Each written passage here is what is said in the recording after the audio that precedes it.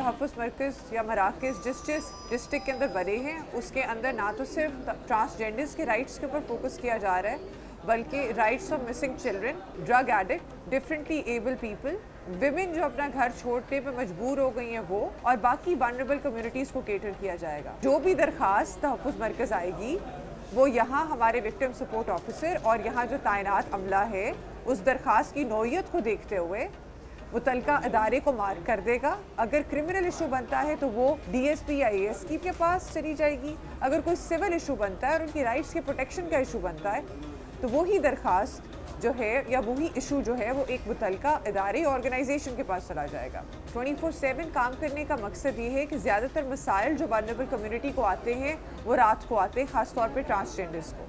तो इस वजह से हम लोगों ने तहफ़ मरकज़ की जो फैसिलिटीज़ हैं, वो ट्वेंटी फोर सेवन कर दी हैं।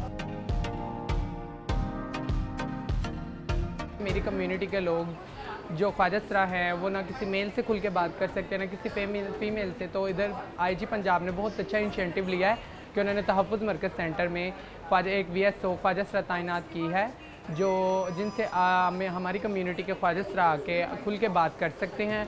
अब तक, माशाल्लाह, मैंने कोई छः सात केसेस रिसॉल्व कर चुकी हूँ अपनी कम्युनिटी के और इन मैं ऐसे उनके केसेस करती रहूँगी। हमें जो भी तकलीफ़ होगी, जो भी मसला होगा, हम इधर आएँगे। तो हम तुम्हारे बहुत शुक्रगुजार हैं, हम लोग बहुत खुश हैं।